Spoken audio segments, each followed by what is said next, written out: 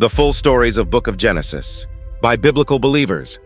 Creation of the world. In the beginning, God crafted the heavens and the earth from the void of nothingness. With each passing day, he spoke creation into existence, starting with the separation of light from darkness. On the second day, God formed the expanse of the sky, dividing the waters above from the waters below. The third day saw the emergence of dry land and the birth of vegetation, plants bearing seed and fruit trees yielding fruit. God then set the sun, moon, and stars in the heavens to govern the day and night, marking the fourth day. On the fifth day, God filled the seas with living creatures and the skies with birds of every kind. The sixth day brought forth the animals of the land, each according to their kind.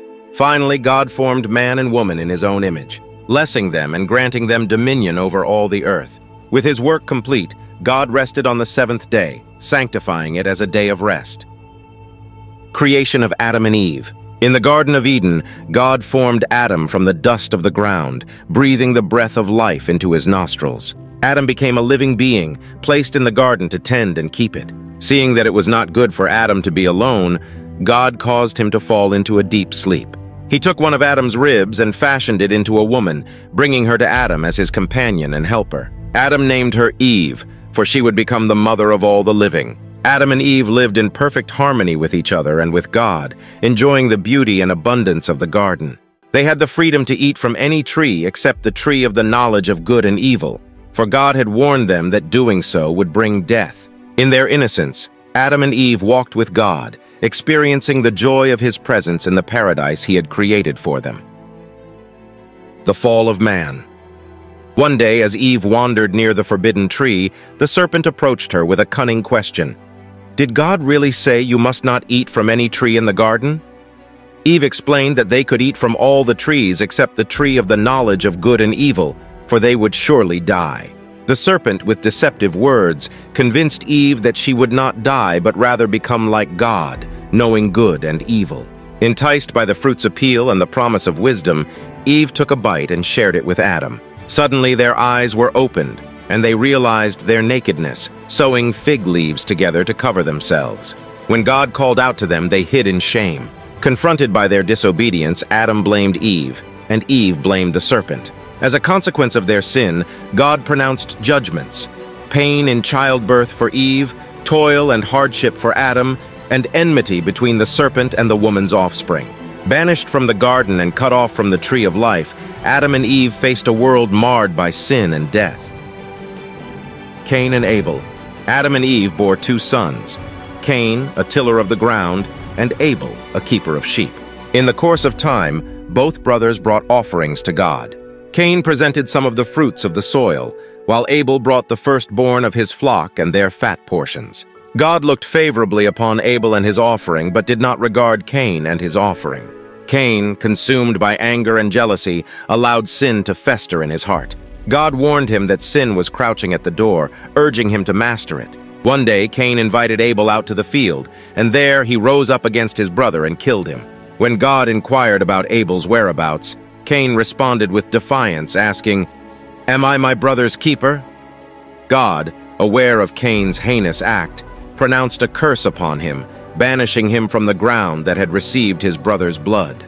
Cain, fearing retribution, lamented that his punishment was too great to bear. God placed a mark on Cain to protect him from harm, sending him out as a fugitive and wanderer on the earth.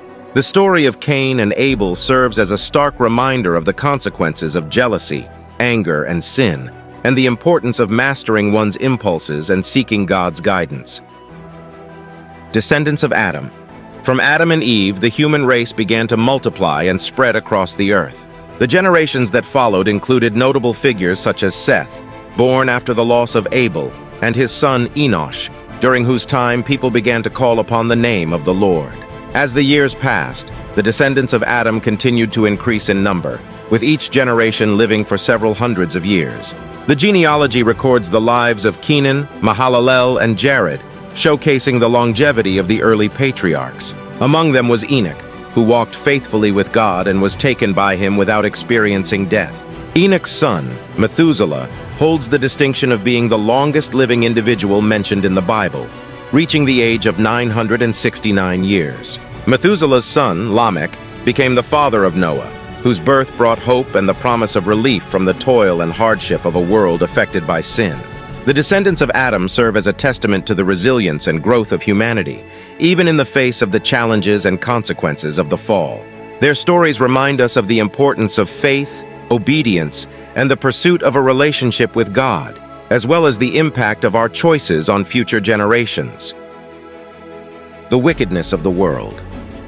As humanity multiplied and spread across the earth, so did wickedness and corruption. The hearts of men became filled with evil thoughts and desires, and violence and depravity spread like a plague. God, looking upon the earth, saw that every inclination of the human heart was continually bent towards evil. The wickedness of mankind grieved him deeply, and he regretted creating them. In his righteous judgment, God resolved to wipe humanity from the face of the earth, along with the animals, creatures, and birds of the sky. However, amidst the widespread corruption, one man found favor in God's eyes, Noah. Noah was a righteous man, blameless among his contemporaries, and he walked faithfully with God. God revealed to Noah his plan to cleanse the earth of its wickedness through a great flood. He instructed Noah to build an ark, providing specific dimensions and materials for its construction. Noah was to gather his family, his wife, his three sons, Shem, Ham, and Japheth, and their wives, into the ark, along with representatives of every animal species to ensure their survival during the impending judgment. Despite the mockery and disbelief of those around him, Noah obeyed God's commands, laboring tirelessly to build the ark and prepare for the catastrophe that would reshape the world and its inhabitants. Noah's Ark. As the wickedness of humanity reached its tipping point, God spoke to Noah, revealing his plan to cleanse the earth of its corruption through a devastating flood. Noah found favor in God's eyes, standing as a righteous man amidst a generation consumed by evil. God instructed Noah to construct an ark, a massive vessel designed to preserve life during the impending deluge. The ark was to be built with gopher wood, measuring 300 cubits in length, 50 cubits in width, and 30 cubits in height. It would feature a roof, a door in its side, and three decks to accommodate Noah's family and the animals. God commanded Noah to gather his wife, his three sons, Shem, Ham, and Japheth, and their wives, ensuring their safety within the ark. Additionally, Noah was tasked with bringing representatives of every animal kind, two of each, male and female, into the ark to preserve their species. Birds, livestock, and creatures that crawled on the ground were all to find refuge within the ark's walls. God instructed Noah to gather enough food for his family and the animals, ensuring their sustenance during their time aboard the vessel. Despite the enormity of the task and the ridicule of those around him, Noah demonstrated unwavering faith and obedience to God's commands. He labored tirelessly to construct the ark according to the divine specifications, undeterred by the disbelief and mockery of his contemporaries. As the final preparations were made and the ark stood ready, Noah and his family entered the vessel, placing their trust in God's protection and provision.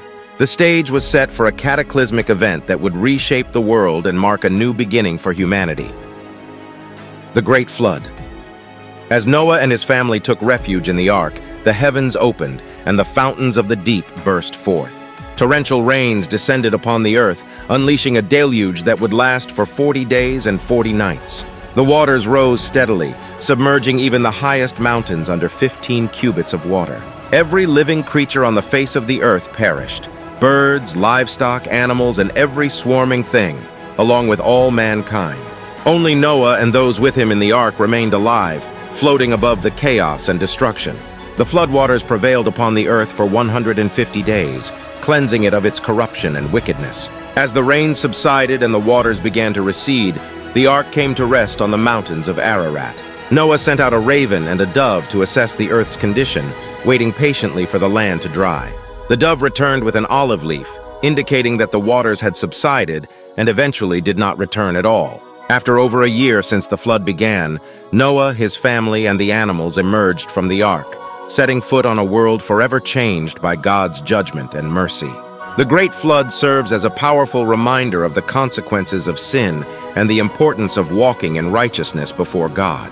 It also showcases God's power over creation, his justice in punishing wickedness, and his grace in preserving a remnant through Noah and his family.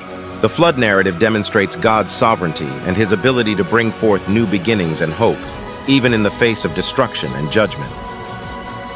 Covenant of the Rainbow. As Noah and his family emerged from the ark, they built an altar and offered sacrifices to the Lord. God, pleased with their worship, made a covenant with Noah and all living creatures, promising never again to destroy the earth with a flood.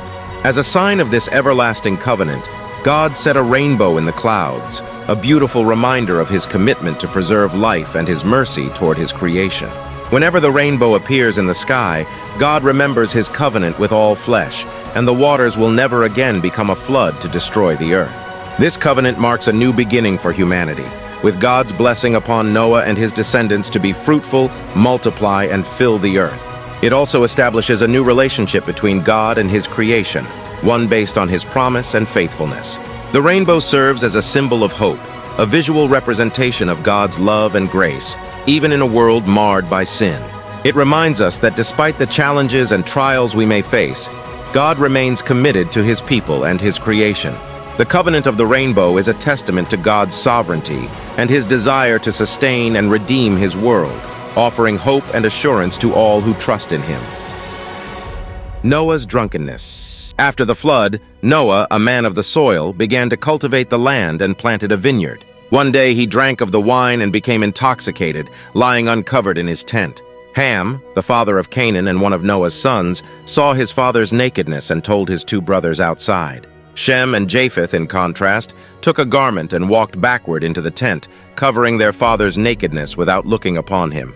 When Noah awoke from his drunken state and learned of Ham's actions, he pronounced a curse upon Canaan, Ham's son. Noah declared that Canaan would be the lowest of servants to his brothers. He also blessed Shem, stating that the Lord would be his God and that Canaan would be his servant.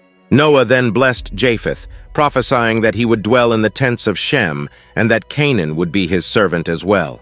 This incident serves as a reminder of the importance of honoring one's parents and the consequences of disrespectful behavior. It also highlights the significance of personal responsibility and the impact of one's actions on future generations. The curse upon Canaan and the blessings upon Shem and Japheth had far-reaching implications for their descendants and the nations that would arise from them. The story of Noah's drunkenness underscores the fallibility of even the most righteous individuals, and the need for wisdom and self-control in all aspects of life. The Tower of Babel. Years after the flood, as the descendants of Noah multiplied and spread across the earth, they found themselves in the land of Shinar. United by a common language and driven by pride, they decided to build a city with a tower that would reach into the heavens. Their goal was to make a name for themselves and to avoid being scattered over the face of the earth. However, God, seeing their arrogance and the potential for even greater rebellion, came down to observe their endeavors. Recognizing that with a unified language, nothing they proposed would be impossible for them, God resolved to confuse their speech and scatter them across the earth. He mixed up their language, causing them to speak in different tongues, making it impossible for them to understand one another. As a result, the construction of the city and the tower came to a halt, and the people were dispersed over the face of the earth forming diverse nations and cultures. The place became known as Babel, which sounds like the Hebrew word for confused, because there, God confused the language of the whole world. The Tower of Babel serves as a cautionary tale about the dangers of pride, self-exaltation, and the desire to operate independently of God. It demonstrates that human unity and achievement, when not aligned with God's purposes, can lead to confusion and dispersion. The story also highlights God's sovereignty over human affairs and his ability to thwart the plans of those who seek to elevate themselves above him. Call of Abram In the city of Ur, a man named Abram lived with his wife Sarai and his father Terah. God spoke to Abram, calling him to leave his country, his kindred, and his father's house, and to go to a land that he would show him. God made a profound promise to Abram, declaring that he would make him a great nation, bless him, and make his name great. Moreover, God pledged to bless those who blessed Abram and to curse those who dishonored him, and that through Abram all the families of the earth would be blessed. Abram, demonstrating remarkable faith and obedience, heeded God's call and set out for the unknown land, taking his wife Sarai, his nephew Lot, and all their possessions with them. They journeyed to the land of Canaan, where God appeared to Abram and affirmed that he would give this land to his offspring. Abram built an altar to the Lord at Shechem, near the oak of Moreh, and worshipped him. As Abram continued his journey, he built another altar between Bethel and Ai, calling upon the name of the Lord. Abram's unwavering trust in God's direction and promises set the stage for a remarkable journey of faith that would shape the course of history. His willingness to leave behind the familiar and step into the unknown, solely based on God's word, serves as an enduring example of the power of faith and the blessings that flow from obedience to God's call. Abram and Lot separate. As Abram and his nephew Lot journeyed together, their possessions and herds grew so abundant that the land could not support both of them living together. Strife arose between the herdsmen of Abram and Lot, as the Canaanites and Perizzites also inhabited the land. Abram, seeking to maintain peace and unity, approached Lot with a proposal. He suggested that they separate and choose different areas to settle, offering Lot the first choice of the land. Lot, surveying the region, noticed the lush and well-watered Jordan Valley, which seemed like the garden of the Lord, similar to the land of Egypt. Attracted by its fertility and beauty, Lot chose to settle in the cities of the plain, pitching his tent near Sodom, a city known for its wickedness. Abram, on the other hand, remained in the land of Canaan. After their separation, the Lord spoke to Abram, reaffirming his promise to give him and his descendants all the land he could see, from north to south and east to west. God declared that he would make Abram's offspring as numerous as the dust of the earth, and encouraged him to walk the length and breadth of the land, for it would belong to him. Abram moved his tent and settled by the oaks of Mamre in Hebron, where he built an altar to the Lord. The separation of Abram and Lot highlights the importance of seeking peace and making wise choices. It also demonstrates God's faithfulness in fulfilling his promises to Abram, even in the midst of challenges and changes. Abram rescues Lot. During the time when Amraphel king of Shinar Arioch king of Ellasar, Chedorlaomer king of Elam, and Tidal king of Goyim waged war against the kings of Sodom and Gomorrah, Lot, who was living in Sodom, became caught in the middle of the conflict. The four kings defeated the five kings of the plain, seizing their possessions and capturing Lot and his goods. When Abram heard the news of his nephew's capture, he immediately gathered 318 of his trained men and set out in pursuit of the invading kings. Dividing his forces, Abram launched a surprise attack by night, defeating the enemy and pursuing them as far as Hoba, north of Damascus. Victorious, Abram brought back all the possessions, along with Lot and the people who had been taken captive. As Abram returned from the battle, he was met by Melchizedek, king of Salem and priest of God Most High.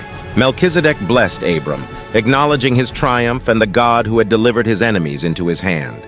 In response, Abram gave Melchizedek a tenth of all the spoils, demonstrating his gratitude and reverence for the God he served.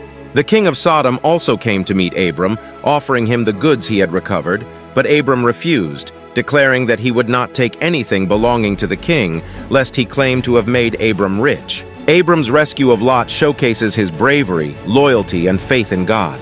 It also highlights the importance of standing up for one's family and the rewards of living a life dedicated to serving and honoring God. God's covenant with Abram.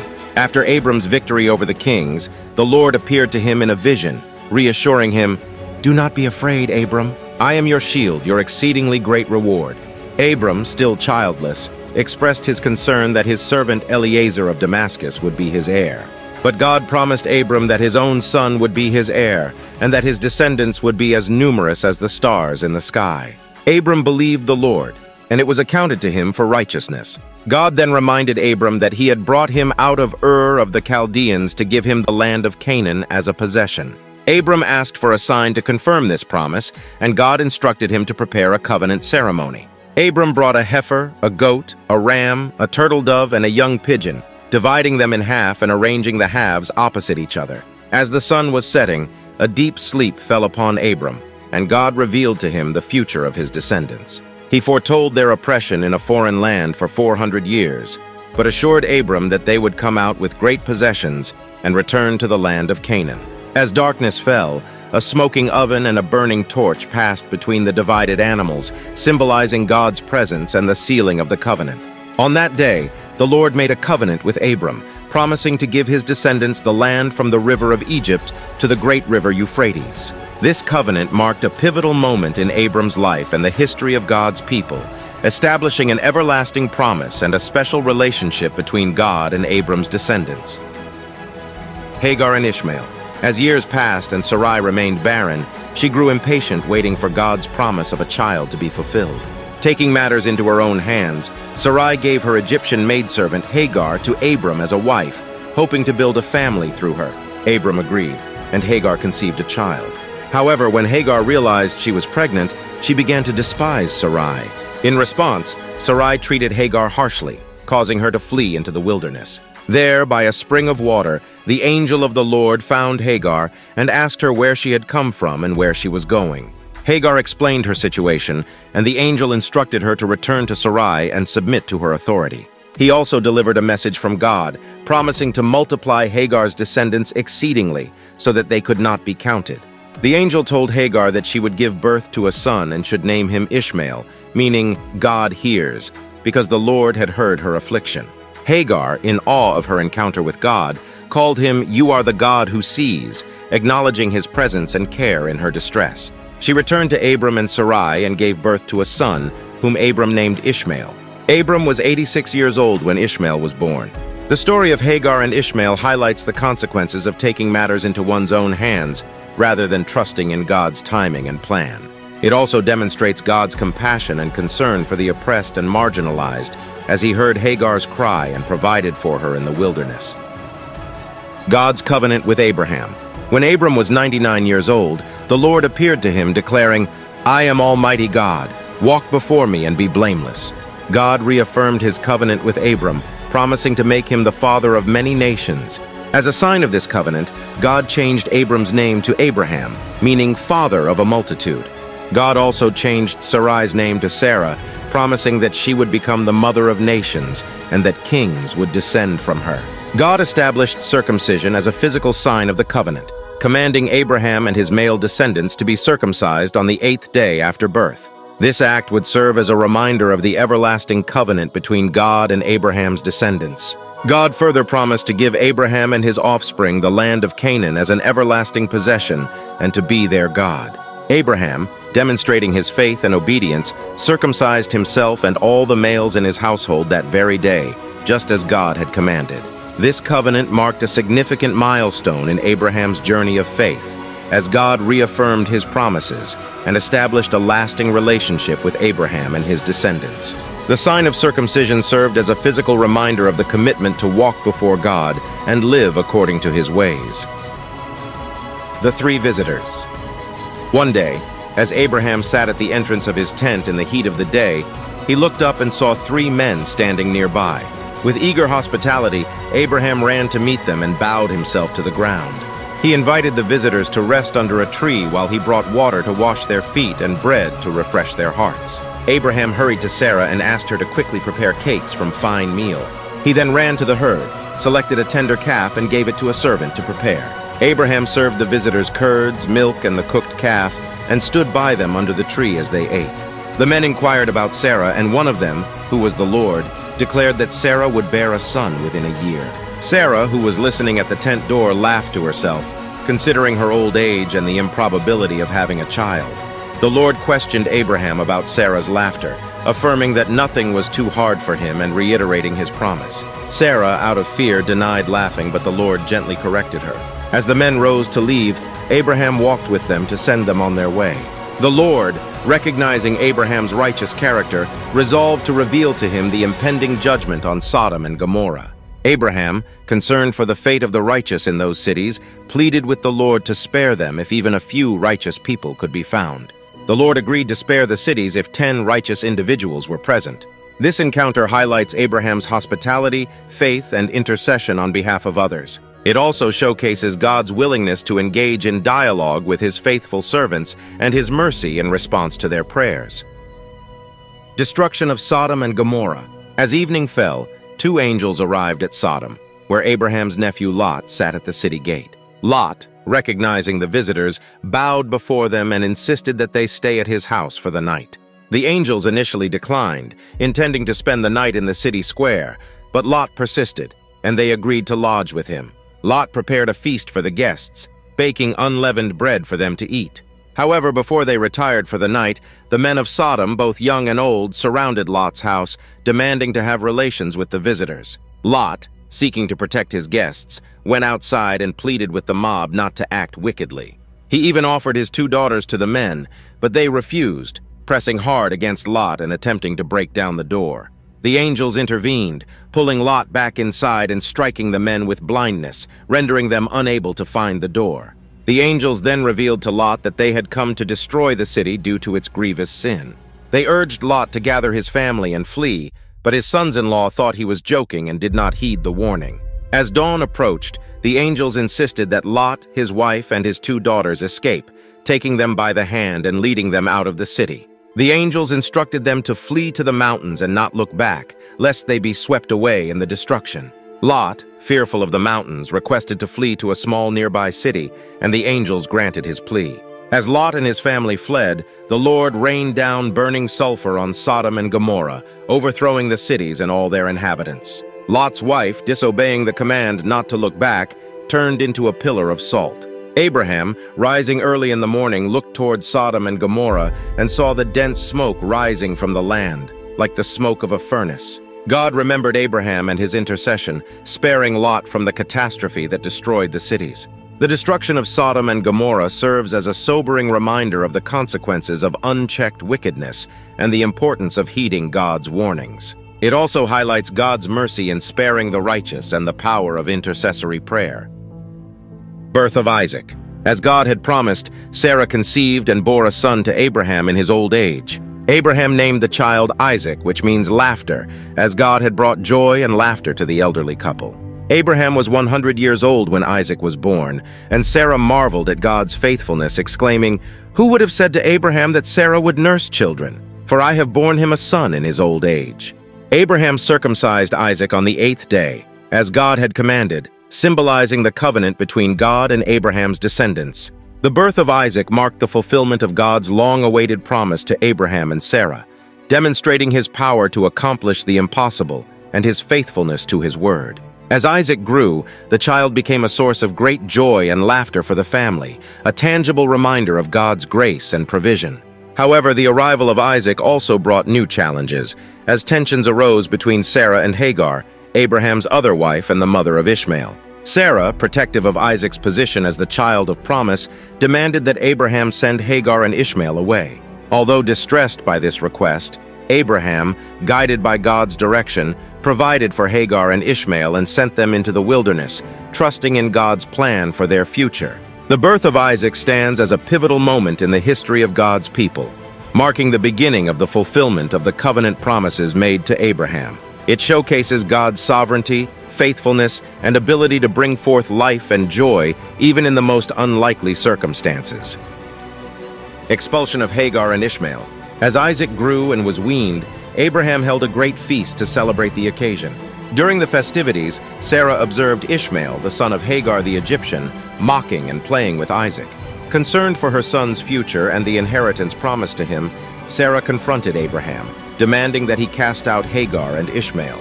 She insisted that Ishmael would not be an heir alongside Isaac. Abraham was deeply distressed by this request, as Ishmael was also his son and he cared for him greatly. However, God spoke to Abraham, reassuring him and instructing him to listen to Sarah's words. God promised to make Ishmael into a great nation as well, for he was Abraham's offspring. Comforted by God's guidance, Abraham rose early in the morning, took bread and a skin of water, and gave them to Hagar. He sent her away with Ishmael, and they wandered in the wilderness of Beersheba. When the water ran out, Hagar placed Ishmael under a shrub and sat down a bowshot away, weeping and unable to watch her child die of thirst. God heard the voice of the boy, and the angel of God called to Hagar from heaven, reassuring her and promising to make Ishmael into a great nation. God opened Hagar's eyes, and she saw a well of water. She went, filled the skin with water, and gave the boy a drink. God was with Ishmael as he grew up in the wilderness, and he became an archer. He dwelt in the wilderness of Paran, and his mother took a wife for him from the land of Egypt. The expulsion of Hagar and Ishmael highlights the complex dynamics within Abraham's family and the challenges that arose from the interplay of human choices and divine promises. It also demonstrates God's concern for the marginalized and his faithfulness to provide for and bless Ishmael, even though he was not the child of the covenant promise. The story serves as a reminder that God's plans are not always aligned with human expectations, and that he works in mysterious ways to accomplish his purposes. Binding of Isaac. Sometime later, God tested Abraham, calling out to him, Abraham! Abraham responded, Here I am. God instructed Abraham to take his son, his only son Isaac, whom he loved, to the land of Moriah, and offer him there as a burnt offering on one of the mountains. Abraham, demonstrating unwavering faith and obedience, rose early in the morning, saddled his donkey, and took two of his young men and Isaac with him. He split the wood for the burnt offering and set out for the place God had told him. On the third day, Abraham lifted his eyes and saw the place afar off. He instructed the young men to stay with the donkey while he and Isaac went to worship, expressing his belief that they would both return. Abraham took the wood for the burnt offering and laid it on Isaac, while he carried the fire and the knife. As they walked together, Isaac asked his father about the lamb for the burnt offering. Abraham replied, My son, God will provide for himself the lamb for a burnt offering. When they reached the place God had designated, Abraham built an altar, arranged the wood, bound Isaac, and laid him on the altar. As Abraham stretched out his hand and took the knife to slay his son, the angel of the Lord called to him from heaven, stopping him and acknowledging his fear of God, as he had not withheld his only son. Abraham lifted his eyes and saw a ram caught in a thicket by its horns. He took the ram and offered it up as a burnt offering instead of his son. Abraham named the place, The Lord Will Provide, and it is said to this day, In the mount of the Lord it shall be provided. The angel of the Lord called to Abraham a second time, reaffirming the covenant blessings and promises, stating that because Abraham had not withheld his son, his only son, God would surely bless him and multiply his descendants as the stars of the heaven and as the sand on the seashore. The binding of Isaac stands as a profound testament to Abraham's faith and obedience, showcasing his willingness to sacrifice even his beloved son in response to God's command. It also foreshadows God's own sacrificial love in providing his Son, Jesus Christ, as the ultimate sacrifice for the sins of humanity. The story highlights the importance of trusting God, even in the face of seemingly impossible circumstances, and the blessings that flow from such unwavering faith. Death and burial of Sarah. At the age of 127 years, Sarah, Abraham's beloved wife, passed away in Kirjath Arba, also known as Hebron, in the land of Canaan. Abraham came to mourn for Sarah and to weep for her, expressing his deep grief and love for his lifelong companion. After a time of mourning, Abraham rose and spoke to the sons of Heth, the Hittites who inhabited the land. He requested a burial property, saying, I am a foreigner and a visitor among you. Give me property for a burial place among you, that I may bury my dead out of my sight.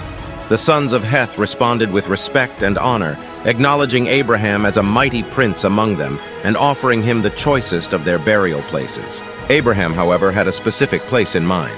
He bowed before the people of the land and asked them to approach Ephron, the son of Zohar, on his behalf, requesting the cave of Machpelah at the end of Ephron's field. Abraham offered to pay the full price for the field and the cave, ensuring a permanent burial place for his family.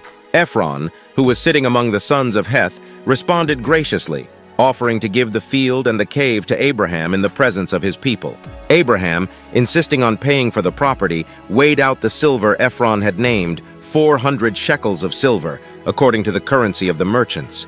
With the transaction completed, the field of Ephron and the cave of Machpelah were deeded to Abraham as a burial property.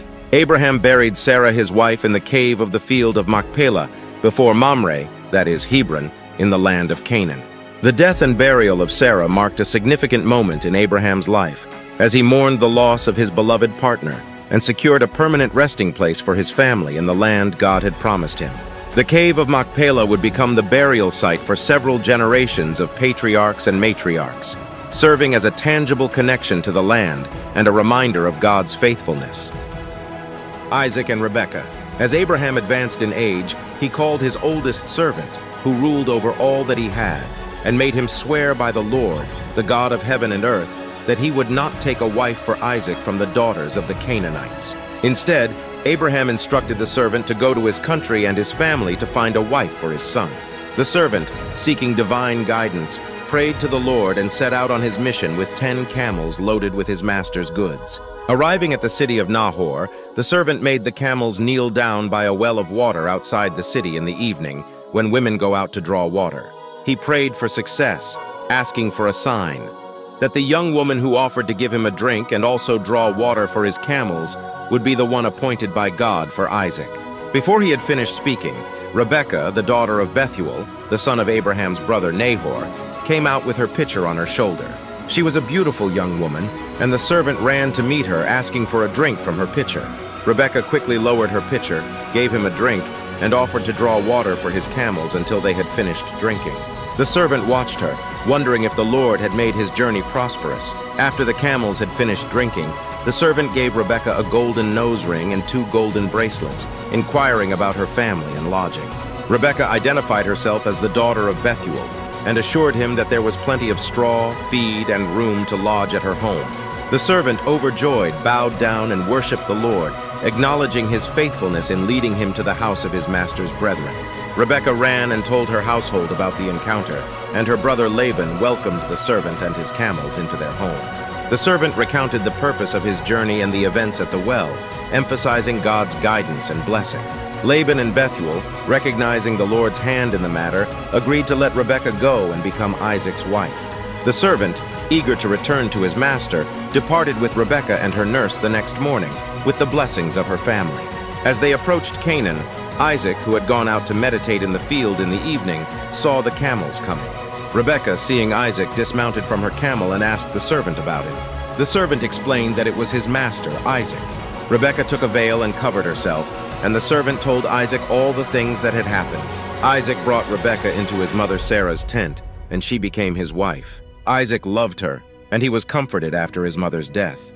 The story of Isaac and Rebekah demonstrates God's providence in guiding the servant to find the right wife for Isaac, ensuring the continuity of the covenant promises. It also highlights the importance of seeking God's guidance in matters of marriage and trusting in his perfect timing and provision. Esau sells his birthright. Isaac and Rebekah's twin sons, Esau and Jacob, grew up with distinct personalities and preferences. Esau became a skillful hunter, a man of the field, while Jacob was a mild man dwelling in tents. Isaac loved Esau because he ate of his game, but Rebekah loved Jacob. One day, when Jacob was cooking a stew, Esau came in from the field, weary and famished. Esau said to Jacob, Please feed me with that same red stew, for I am weary. Jacob, seizing the opportunity, replied, Sell me your birthright as of this day. Esau, driven by his hunger and impulsiveness, declared, Look, I am about to die, so what is this birthright to me? Jacob insisted that Esau swear to him, and Esau sold his birthright to Jacob, confirming the transaction with an oath. Jacob then gave Esau bread and stew of lentils, which he ate and drank before rising and going his way. The scripture emphasizes that Esau despised his birthright, treating it as a trivial matter in comparison to his immediate desires. The birthright in ancient Near Eastern culture encompassed not only a double portion of the inheritance, but also spiritual blessings and responsibilities. By selling his birthright for a mere bowl of stew, Esau demonstrated a lack of regard for the long-term significance of his position as the firstborn son. This incident sets the stage for future conflicts between the brothers and highlights the divergent paths they would take. It also serves as a cautionary tale about the consequences of valuing temporary gratification over lasting spiritual blessings and the importance of making wise choices in light of eternity. Isaac's Blessing As Isaac grew old and his eyes became so dim that he could not see, he called for his older son Esau. Believing that his death was near, Isaac instructed Esau to take his weapons, go out to the field, and hunt game for him.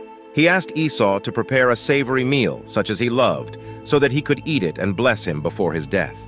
Rebekah, overhearing the conversation, devised a plan to secure the blessing for her favored son, Jacob. She instructed Jacob to bring two choice kids from the flock, which she would prepare as a savory dish for Isaac. Rebekah then took Esau's best garments and put them on Jacob, and she covered his hands and the smooth part of his neck with the skins of the kids. Jacob brought the meal to his father, pretending to be Esau and claiming to have done as he was asked. Isaac, surprised by the quick return, questioned whether it was truly Esau. Jacob deceived his father, asserting that the Lord had brought him success in the hunt. Isaac, still uncertain, asked Jacob to come near so he could feel him, to determine whether he was indeed Esau.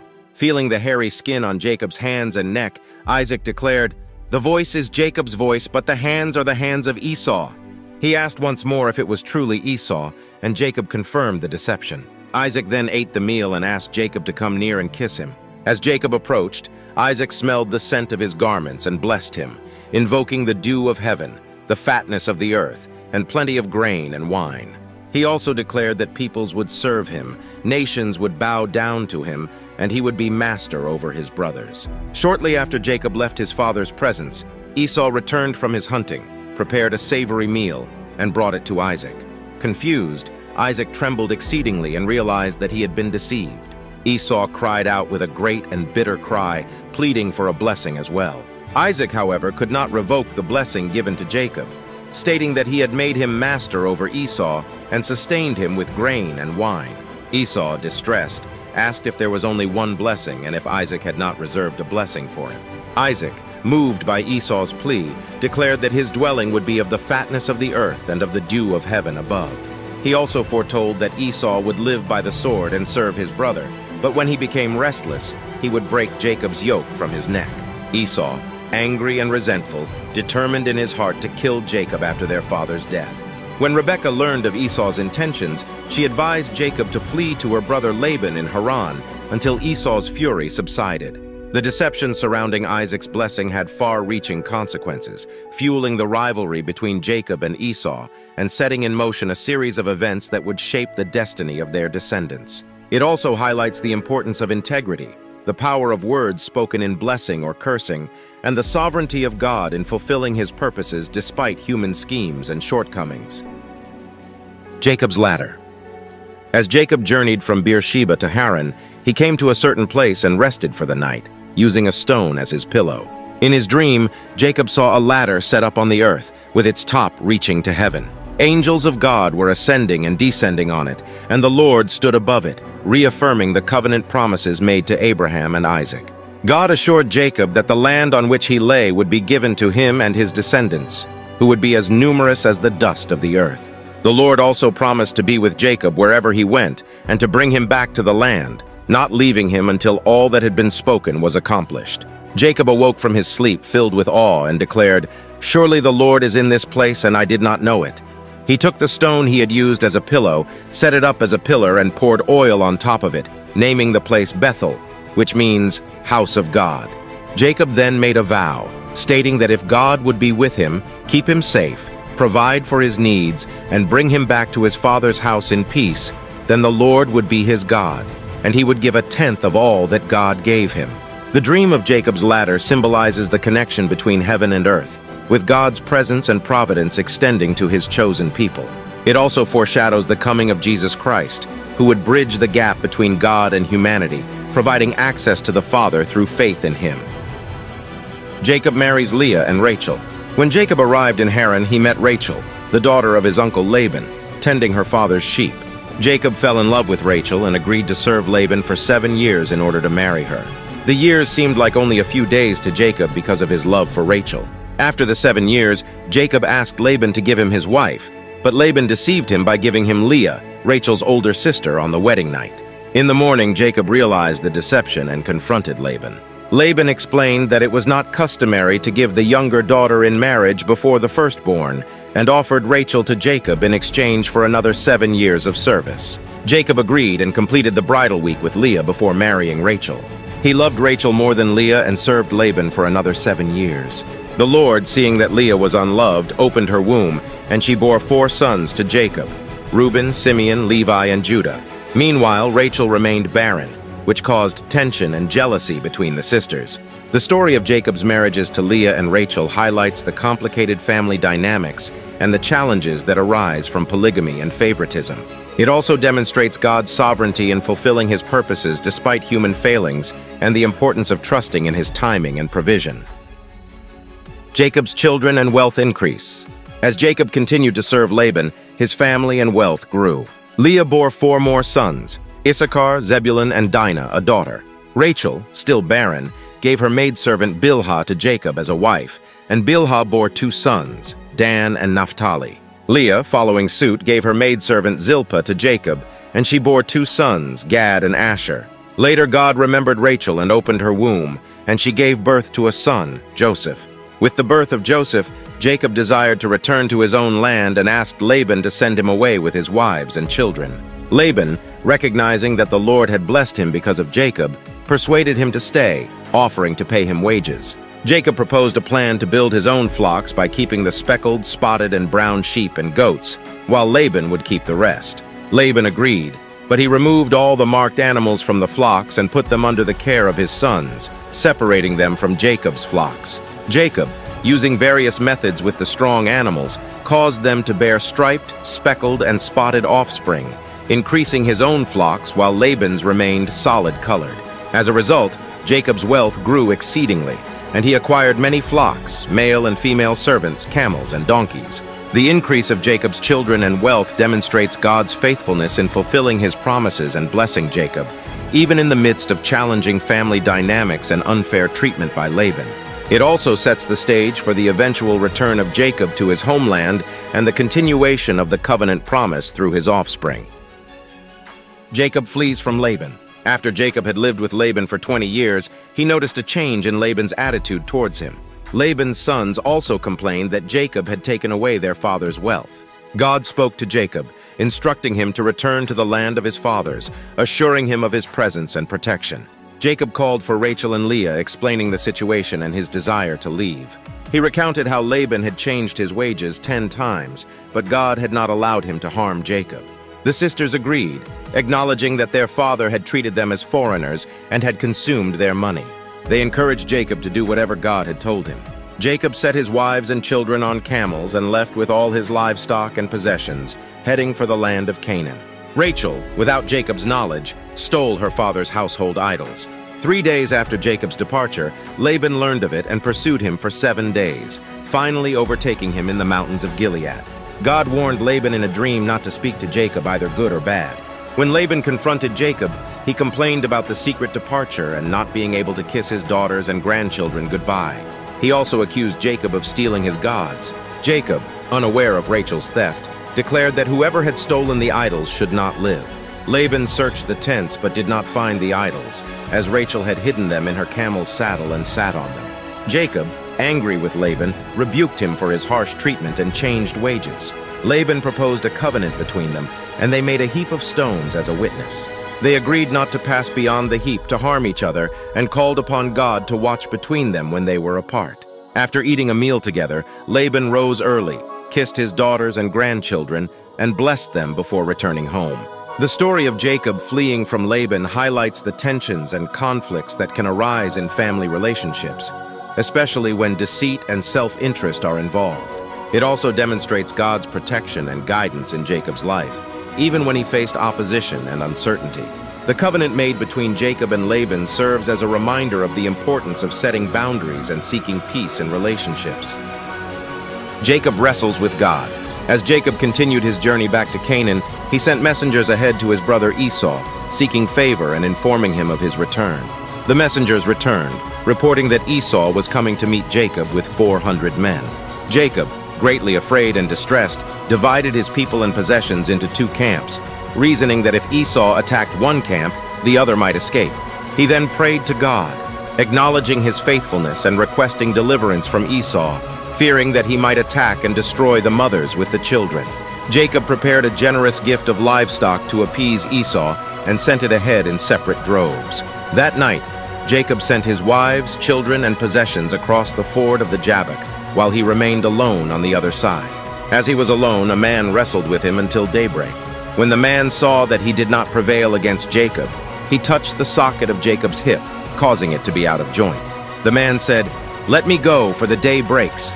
But Jacob replied, I will not let you go unless you bless me. The man asked Jacob his name, and when Jacob told him, the man said, Your name shall no longer be called Jacob, but Israel, for you have struggled with God and with men and have prevailed. Jacob asked for the man's name, but he replied, Why is it that you ask about my name? And blessed him there.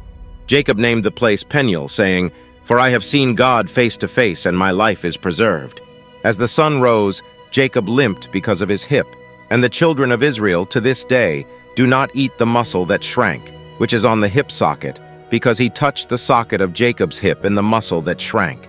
The wrestling match between Jacob and the divine being represents a pivotal moment in Jacob's life, where he confronts his past, his fears, and his relationship with God. The change of his name to Israel signifies a transformation in his character and destiny, as he becomes the father of the twelve tribes that will bear his name. The story also highlights the persistence and determination of Jacob in seeking God's blessing and the intimate, personal nature of his encounter with the divine.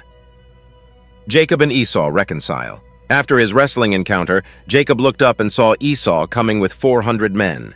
He divided the children among Leah, Rachel, and the two maidservants, putting the maidservants and their children in front, Leah and her children next, and Rachel and Joseph last. Jacob himself went on ahead, bowing to the ground seven times as he approached his brother. Esau ran to meet him, embraced him, fell on his neck and kissed him, and they wept. When Esau inquired about the women and children, Jacob introduced them, and they bowed before Esau. Esau then asked about the droves of livestock he had encountered, and Jacob explained that they were a gift to find favor in Esau's sight. Esau initially refused the gift, saying he had enough, but Jacob insisted, and Esau accepted it. Esau proposed that they journey together, but Jacob, concerned about the pace of his flocks and young children, suggested that Esau go ahead while he followed at a slower pace. Esau offered to leave some of his men with Jacob, but Jacob declined, saying it was unnecessary. Esau returned to Seir, while Jacob journeyed to Succoth, built a house, and made booths for his livestock. Later, Jacob arrived safely at the city of Shechem in Canaan and camped before the city. He bought the plot of land where he pitched his tent and erected an altar there, calling it El Elohe Israel, which means God, the God of Israel. The reconciliation between Jacob and Esau demonstrates the power of forgiveness, the importance of humility, and the resolution of long-standing conflicts. Despite Jacob's past deception and the potential for hostility, Esau's warm reception and Jacob's gestures of respect and generosity pave the way for a peaceful reunion. The story also highlights the fulfillment of God's promise to protect and bless Jacob, even as he returns to the land of his fathers.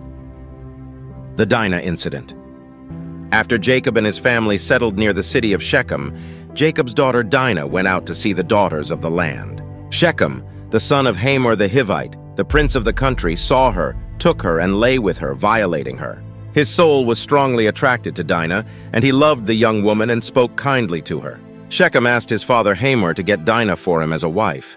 When Jacob heard that Shechem had defiled his daughter, his sons were in the field with the livestock, so he held his peace until they came home. Hamor went out to speak with Jacob, proposing that their peoples intermarry and live together, offering them the land to dwell in and trade. Shechem also offered to give whatever dowry and gift they asked, urging them to give him Dinah as a wife. Jacob's sons answered Shechem and Hamor deceitfully because Shechem had defiled their sister.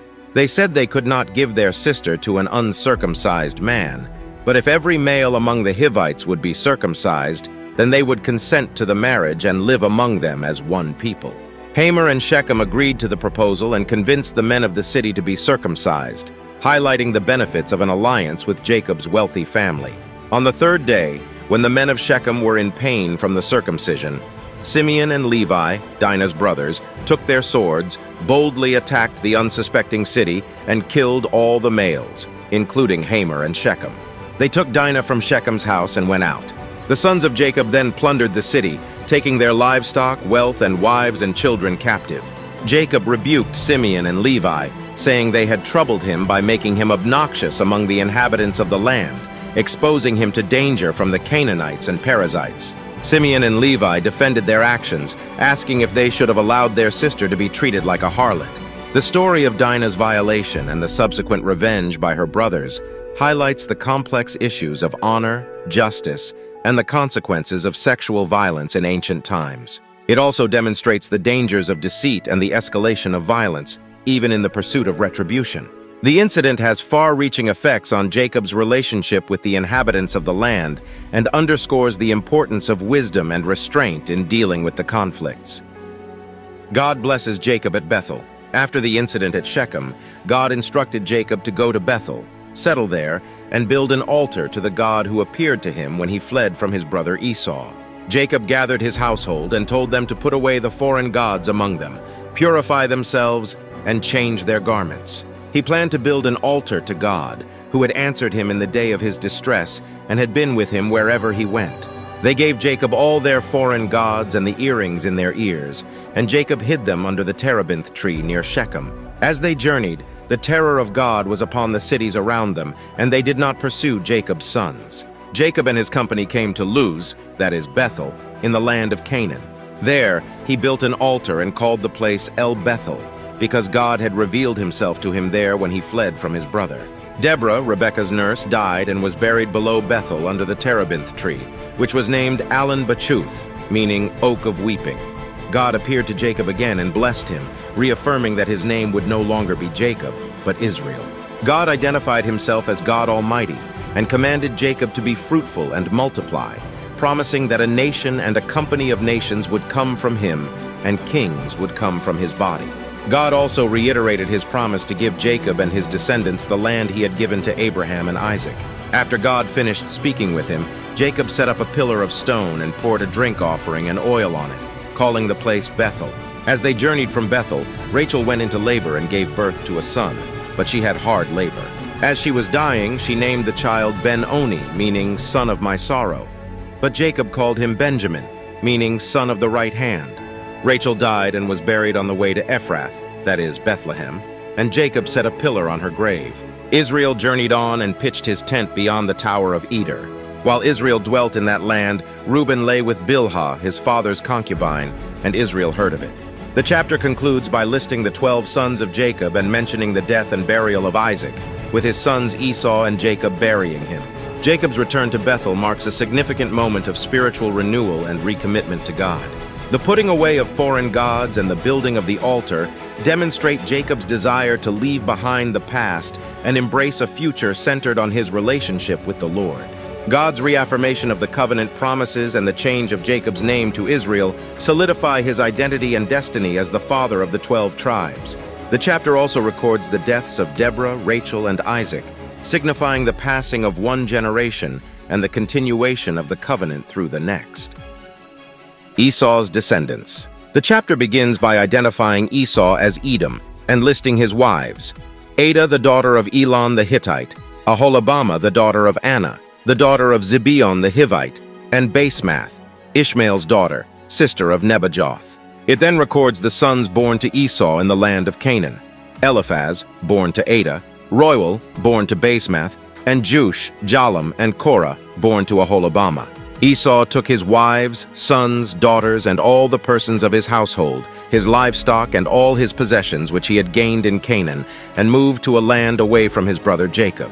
The brothers had too many possessions to dwell together, and the land where they were staying could not support them because of their livestock. So Esau dwelt in Mount Seir. Esau is Edom. The text then provides a detailed genealogy of Esau's descendants, starting with his sons and their children. It lists the chiefs of the Edomites according to their settlements in the land of their possession. The chapter also mentions that Esau took possession of Mount Seir, driving out the Horites who previously inhabited the land. It records the descendants of Seir the Horite, who inhabited the land before Esau, and the kings who reigned in Edom before any king reigned over the children of Israel. The chapter concludes by listing the chiefs of Esau according to their families, places, and names, emphasizing that these were the chiefs of Edom, according to their dwelling places in the land of their possession, and that Esau was the father of the Edomites. The record of Esau's descendants and their establishment in Edom provides important historical and geographical context for the development of the Israelite nation. It also demonstrates the fulfillment of God's promise to Abraham that he would be the father of many nations, as both Isaac and Ishmael's descendants are chronicled.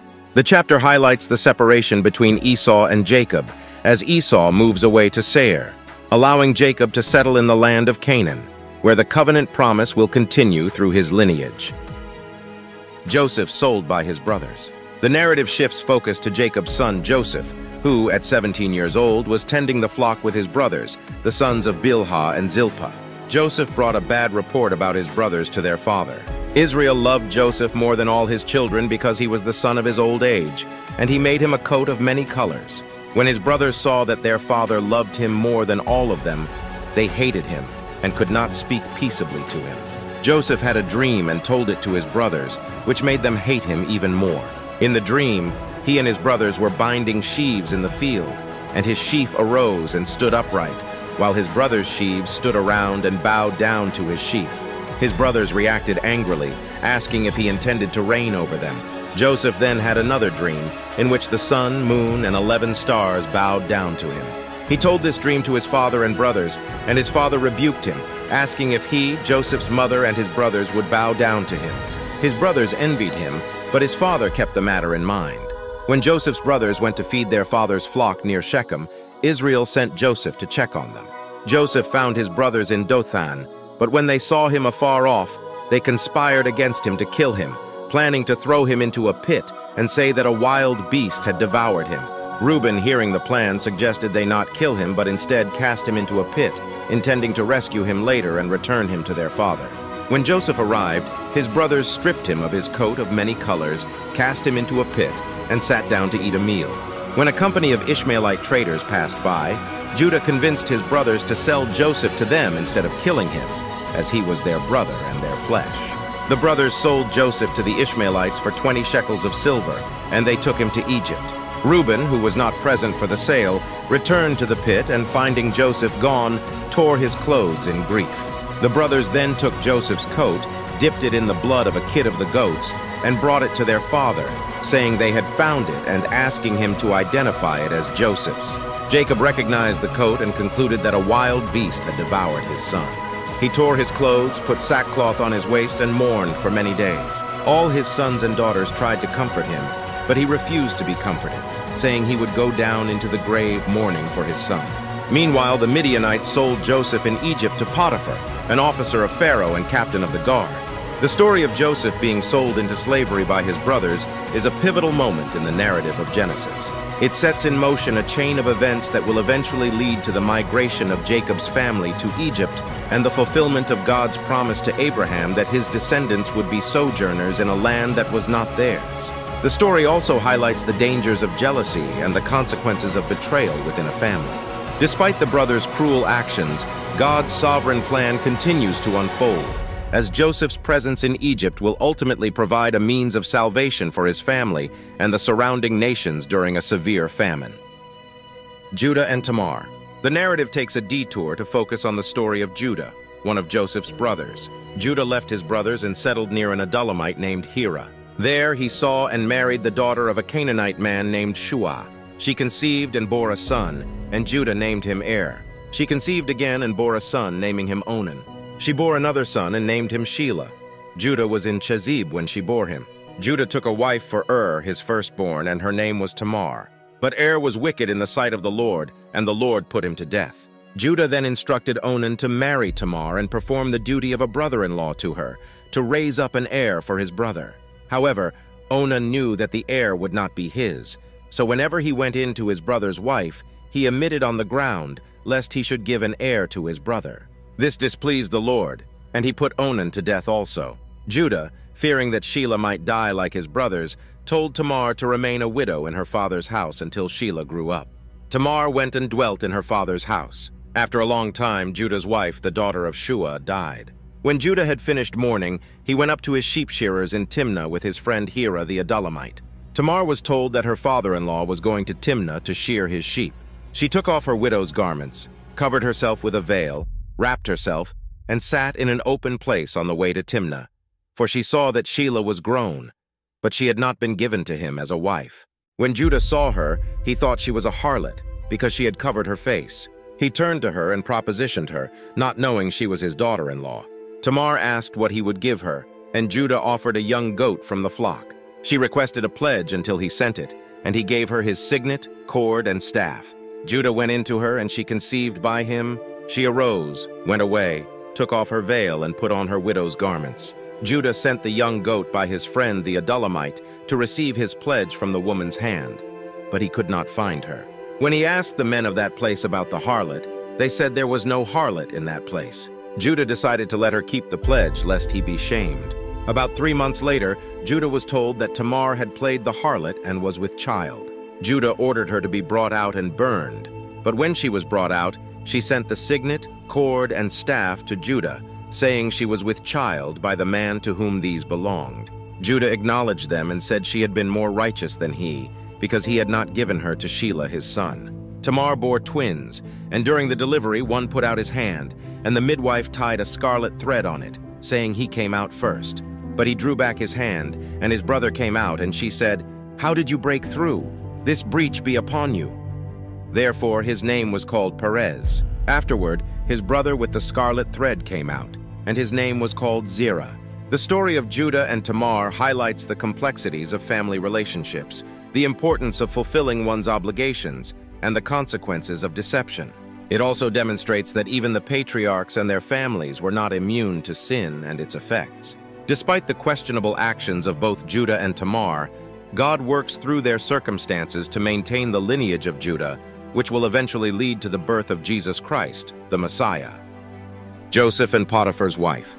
The narrative returns to Joseph, who had been brought down to Egypt and sold to Potiphar, an officer of Pharaoh and captain of the guard.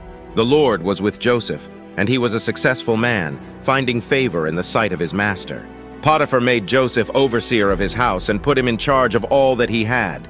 From the time that Potiphar put Joseph in charge, the Lord blessed the Egyptian's house for Joseph's sake, and the blessing of the Lord was on all that he had in the house and in the field. Potiphar left all that he had in Joseph's hand, and he did not concern himself with anything except the bread which he ate. Joseph was handsome in form and appearance. After some time, Potiphar's wife took notice of Joseph and asked him to lie with her. But Joseph refused, citing his master's trust in him and the wickedness of sinning against God. Despite her persistent attempts to seduce him, Joseph refused to listen to her, to lie with her, or to be with her. One day, Joseph went into the house to do his work, and none of the men of the house was inside. Potiphar's wife caught him by his garment, saying, Lie with me. But Joseph left his garment in her hand and fled outside. When she saw that he had left his garment in her hand and had fled, she called to the men of her house, claiming that Joseph had tried to force himself on her, and she had cried out loudly, causing him to flee and leave his garment behind. She kept his garment by her until Potiphar came home and told him the same story. When Potiphar heard his wife's words and saw Joseph's garment, his anger was aroused, and he took Joseph and put him into the prison, the place where the king's prisoners were confined. But the Lord was with Joseph and showed him mercy, giving him favor in the sight of the keeper of the prison. The keeper of the prison committed to Joseph's hand all the prisoners who were in the prison, and whatever they did there, it was his doing. The keeper of the prison did not look into anything that was under Joseph's hand, because the Lord was with him, and whatever he did, the Lord made it prosper. The story of Joseph and Potiphar's wife is a classic example of the consequences of integrity and the resilience of faith in the face of adversity. Despite being falsely accused and imprisoned, Joseph remains committed to his moral principles and his trust in God. The Lord's presence and favor in Joseph's life, even in the midst of hardship, foreshadows the greater purpose and plan that will unfold through his experiences. The story also highlights the importance of resisting temptation and the potential consequences of giving into it. The cupbearer and the baker.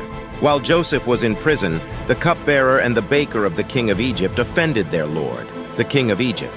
Pharaoh was angry with his two officers, the chief cupbearer and the chief baker, and put them in custody in the house of the captain of the guard, in the same prison where Joseph was confined.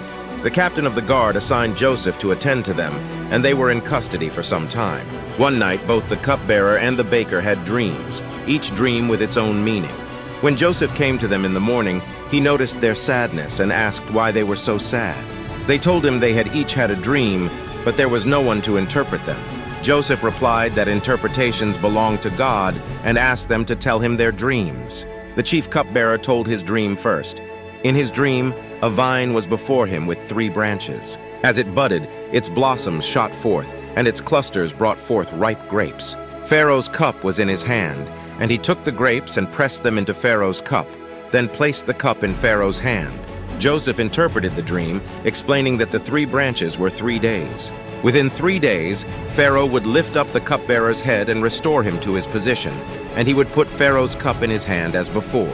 Joseph asked the cupbearer to remember him when it was well with him, to show kindness to him, and to mention him to Pharaoh, to get him out of the prison, as he had been stolen away from the land of the Hebrews and had done nothing deserving of imprisonment. When the chief baker saw that the interpretation was good, he told Joseph his dream.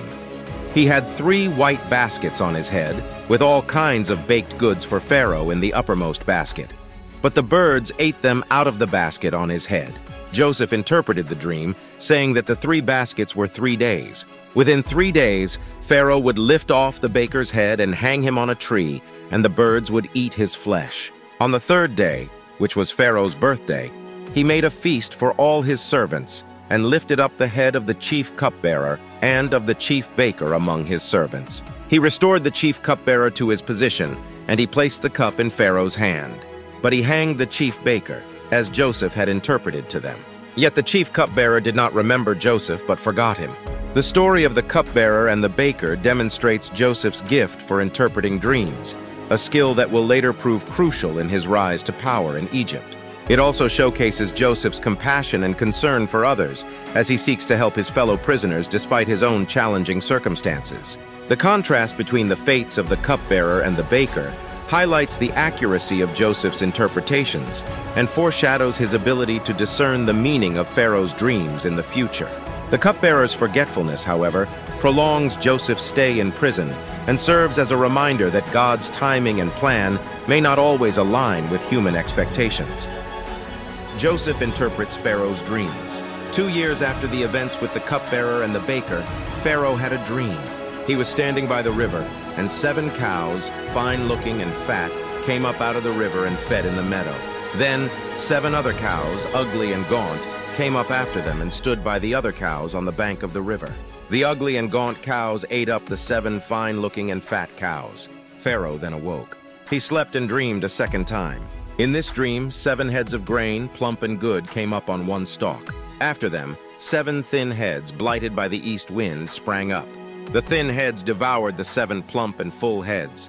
Pharaoh awoke, and it was a dream. In the morning, Pharaoh's spirit was troubled, and he sent for all the magicians and wise men of Egypt. Pharaoh told them his dreams, but there was no one who could interpret them.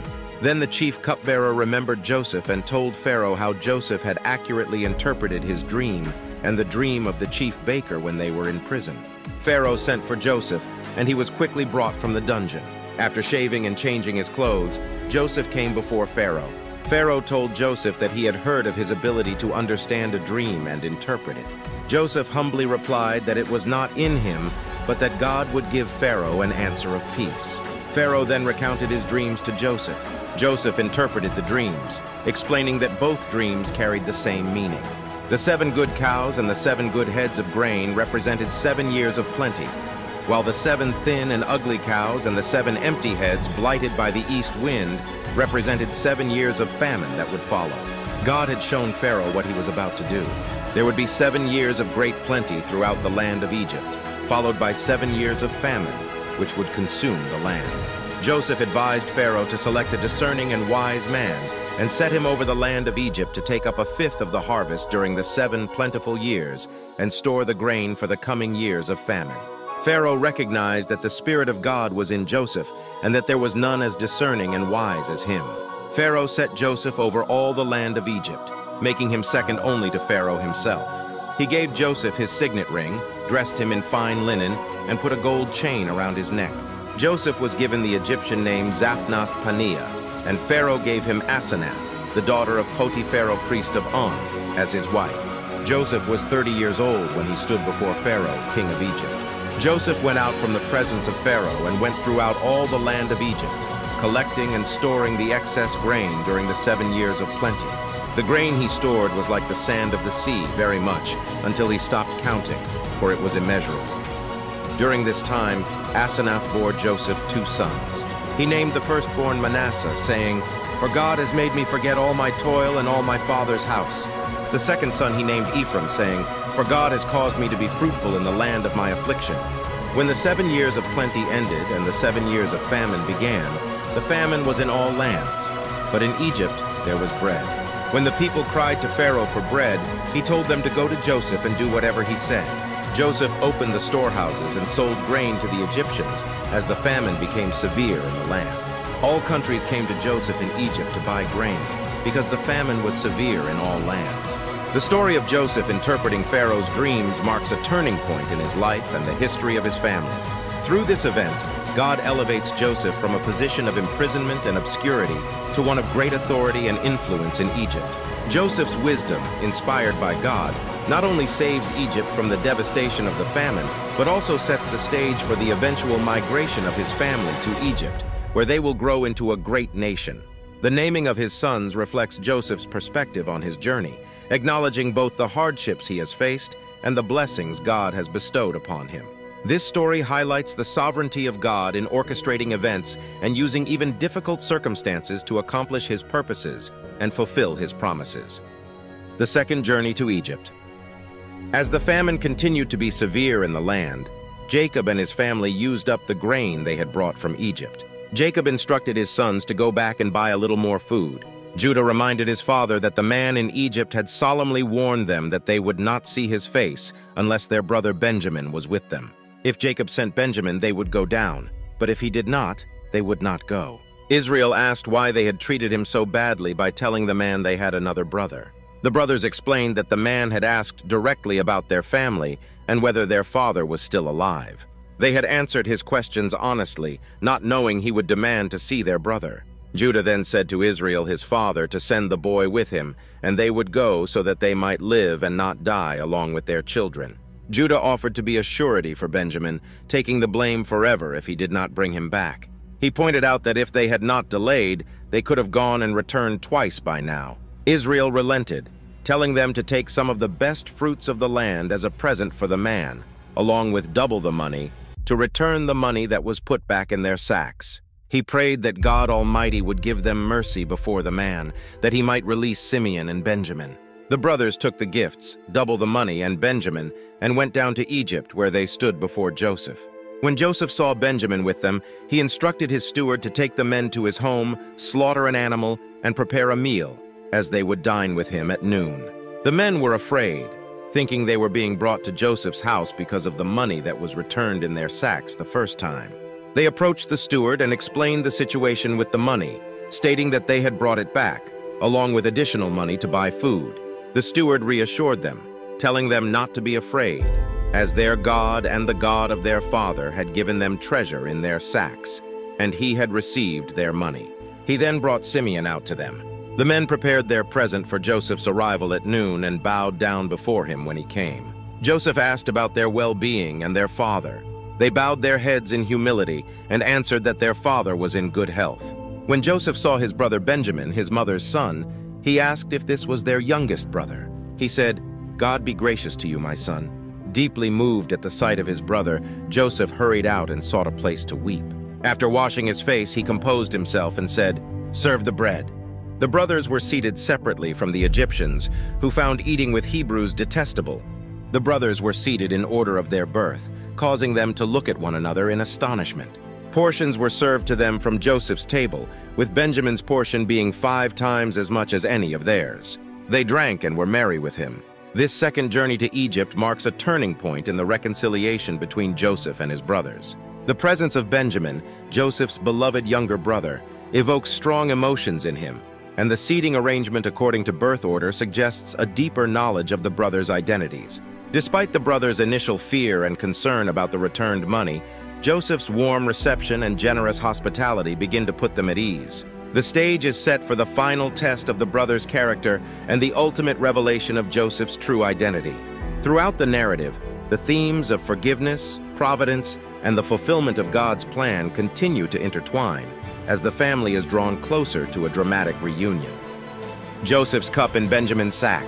After the meal, Joseph instructed his steward to fill the men's sacks with as much food as they could carry and to put each man's money in the mouth of his sack. He also told the steward to put his silver cup in the mouth of the sack of the youngest, along with his grain money. The steward did as Joseph had directed. In the morning, as soon as it was light, the men were sent away with their donkeys. When they had gone out of the city but were not yet far off, Joseph said to his steward to pursue the men, and, when he overtook them, to ask why they had repaid evil for good by stealing his silver cup. The steward overtook them and repeated these words. The brothers were shocked and protested their innocence, reminding the steward that they had even brought back the money they found in their sacks on the first journey. They declared that if any of them were found with the cup, he would die, and the rest would become Joseph's slaves. The steward agreed, but said that only the one who was found with the cup would be his slave, and the rest would be blameless. Each man quickly lowered his sack to the ground, and the steward searched, beginning with the oldest and ending with the youngest. The cup was found in Benjamin's sack. The brothers tore their clothes, loaded their donkeys, and returned to the city. Joseph was still there when Judah and his brothers came in, and they fell before him on the ground. Joseph asked what they had done and if they did not know that a man like him could certainly practice divination. Judah asked what they could say to clear themselves, acknowledging that God had found out their iniquity and that they were all Joseph's slaves. Joseph replied that only the man in whose hand the cup was found would be his slave, and the rest could go in peace to their father. Judah approached Joseph and recounted how the Lord had asked about their father and younger brother, and how they had told him that their father loved the youngest, as his brother was dead. Judah reminded Joseph that he had told them to bring their youngest brother down, or they would not see his face again. He explained their father's reluctance to send Benjamin, fearing that harm might befall him, which would bring down his gray hair with sorrow to the grave. Judah then offered himself as a slave in Benjamin's place, as he had become surety for the boy to his father. He could not bear to see the evil that would come upon his father if Benjamin did not return. This dramatic turn of events, with Joseph's cup being found in Benjamin's sack, serves as the final test of the brothers' character and their loyalty to one another. Judah's heartfelt plea and offer to take Benjamin's place demonstrate a profound change in the brothers' attitudes and priorities. No longer are they willing to sacrifice one of their own for their own self-interest, as they had done with Joseph years earlier. Instead, they show a newfound sense of responsibility, empathy, and self-sacrifice. This transformation in the brothers' character sets the stage for Joseph's revelation of his true identity and the emotional reconciliation that follows. The story also highlights the theme of divine providence, as Joseph recognizes that God has orchestrated these events to bring about his purposes and to preserve the family. Joseph reveals his identity. Upon hearing Judah's impassioned plea, Joseph could no longer control himself before all those who stood by him. He cried out for everyone to leave him alone with his brothers. He wept so loudly that the Egyptians and the house of Pharaoh heard it. Joseph said to his brothers, I am Joseph. Does my father still live? His brothers were so dismayed that they could not answer him. Joseph asked his brothers to come near to him, and he said again, I am Joseph your brother, whom you sold into Egypt. But now, do not be grieved or angry with yourselves because you sold me here, for God sent me before you to preserve life. Joseph explained that the famine had been in the land for two years, and there were still five years in which there would be neither plowing nor harvesting. He emphasized that God had sent him ahead of them to preserve a posterity for them in the earth and to save their lives by a great deliverance. Joseph reassured his brothers that it was not they who had sent him to Egypt, but God, who had made him a father to Pharaoh, lord of all his house, and a ruler throughout all the land of Egypt. He urged them to hurry back to their father and tell him of Joseph's glory in Egypt and to bring their father down to him quickly. Joseph then fell on his brother Benjamin's neck and wept, and Benjamin wept on his neck. Moreover, he kissed all his brothers and wept over them, and after that his brothers talked with him. When the report reached Pharaoh's house that Joseph's brothers had come, it pleased Pharaoh and his servants. Pharaoh told Joseph to invite his father and his entire household to come to Egypt, where he would provide for them and give them the best of the land. Pharaoh also offered wagons to transport their wives, children, and belongings. The sons of Israel did so, and Joseph gave them wagons, provisions for the journey, and changes of garments. To Benjamin he gave 300 pieces of silver and five changes of garments. To his father he sent ten donkeys loaded with the good things of Egypt, and ten female donkeys loaded with grain, bread, and food for his father's journey. Joseph sent his brothers away with a final admonition not to become troubled along the way. They went up out of Egypt and came to Jacob in Canaan, telling him that Joseph was still alive and was governor over all the land of Egypt. Jacob's heart stood still, for he did not believe them. But when they told him all the words Joseph had said to them, and when he saw the wagons Joseph had sent to carry him, Jacob's spirit revived. Israel said, It is enough. Joseph, my son, is still alive. I will go and see him before I die. This poignant scene of Joseph revealing his identity to his brothers marks the climax of the story and the resolution of the conflict that has driven the narrative. Joseph's emotional response and his brothers' shock and dismay highlight the intensity of the moment and the depth of the pain and estrangement they have experienced. At the same time, Joseph's interpretation of the events as part of God's plan to preserve the family and fulfill his promises underscores the theme of divine providence that runs throughout the story. The brothers' stunned silence and Joseph's reassurance and generosity demonstrate the power of forgiveness and reconciliation. Pharaoh's favorable response and offer of support reflect the high esteem in which Joseph is held and the way in which his presence has brought blessing to Egypt. Finally, Jacob's reaction, initially one of disbelief and then of renewed spirit, sets the stage for the emotional reunion that will follow and the fulfillment of God's promise to make Israel a great nation, even in the midst of the challenges and setbacks they have faced. Jacob goes to Egypt. Upon hearing the news that Joseph was alive and the invitation to come to Egypt, Israel set out on his journey with all that he had. When he came to Beersheba, he offered sacrifices to the God of his father, Isaac. God spoke to Israel in visions of the night, saying, Jacob, Jacob. Jacob replied, Here I am. God identified himself as the God of his father and told him not to fear going down to Egypt, for he would make him a great nation there. God promised to go with Jacob to Egypt and to bring him up again, assuring him that Joseph would put his hand on his eyes. Jacob and his family, including his sons, their wives, and their children, along with their livestock and goods, embarked on the journey to Egypt in the wagons Pharaoh had sent. The chapter then lists the names of the descendants of Israel who went to Egypt, totaling 70 persons, including Joseph and his sons who were already in Egypt. Jacob sent Judah ahead to Joseph to point the way to Goshen, where they would settle. Joseph prepared his chariot and went up to Goshen to meet his father Israel. As soon as Joseph appeared before him, he fell on his neck and wept on his neck a good while. Israel said to Joseph, Now let me die, since I have seen your face, because you are still alive. Joseph said to his brothers and to his father's household that he would go up and tell Pharaoh that his brothers and his father's household had come from the land of Canaan with their flocks, herds, and all that they owned. He instructed them, when Pharaoh called them and asked about their occupation, to say that they were men of livestock from their youth until now, so that they might dwell in the land of Goshen. For every shepherd was an abomination to the Egyptians. Jacob's journey to Egypt marks a significant turning point in the history of the Israelites. It fulfills the prophecy given to Abraham that his descendants would be sojourners in a land not their own, and it sets the stage for the growth of the nation and the events of the Exodus that will follow. At the same time, Jacob's initial hesitation and the reassurance he receives from God highlight the challenges and uncertainties that come with such a major transition. Joseph's leadership in the famine. Joseph went and told Pharaoh that his father, brothers, and their households had come from Canaan with their livestock and possessions, and were now in Goshen. He presented five of his brothers to Pharaoh, who asked about their occupation. As instructed, they replied that they were shepherds and had come to dwell in the land because the famine was severe in Canaan. They requested to settle in Goshen, and Pharaoh granted their request, offering to put any capable men in charge of his own livestock. Joseph then brought his father Jacob before Pharaoh, and Jacob blessed Pharaoh. When asked his age, Jacob replied that he was 130 years old, and that his years had been few and difficult, not attaining the years of his fathers.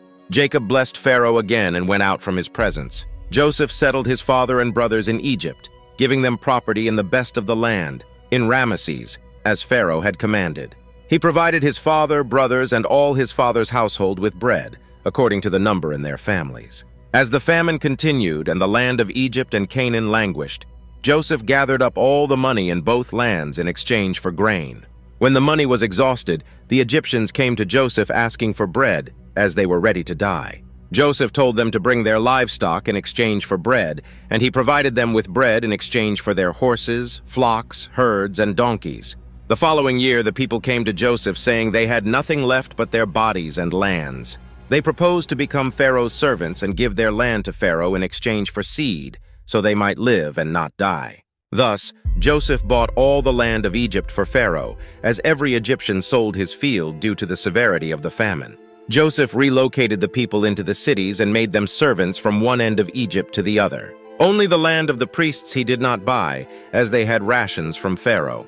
Joseph gave the people seed to sow, instituting a law that one-fifth of the produce belonged to Pharaoh, with four-fifths remaining as their own. The people acknowledged that Joseph had saved their lives and declared themselves Pharaoh's servants. Israel dwelt in Goshen, acquired possessions, and grew and multiplied exceedingly.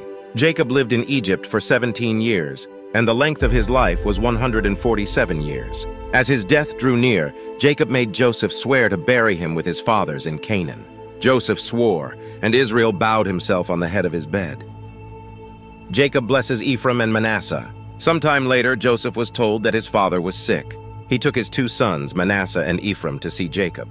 When Jacob was told that Joseph had come, he strengthened himself and sat up on the bed. Jacob recounted to Joseph how God Almighty had appeared to him at Luz in Canaan, blessed him, and promised to make him fruitful, multiply him, make him an assembly of peoples, and give the land to his descendants as an everlasting possession. Jacob then declared that Joseph's two sons, Ephraim and Manasseh, who were born in Egypt, would be his own, just as Reuben and Simeon were. Any children born to Joseph after them would be his own and named after their brothers in their inheritance. Jacob recalled Rachel's death and burial on the way to Ephrath.